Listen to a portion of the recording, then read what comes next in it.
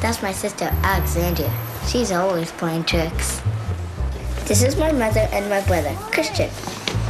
Come on, Chris, let me late for dance class. He's hard of hearing, so we have to sign to each other. He's asking where Alexandria is. Ah, no, I'm here. I'm ready.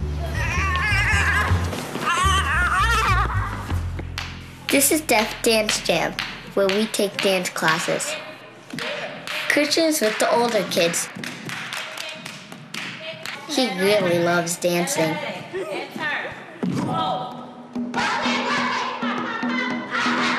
Me and Alexandria are with the smaller kids.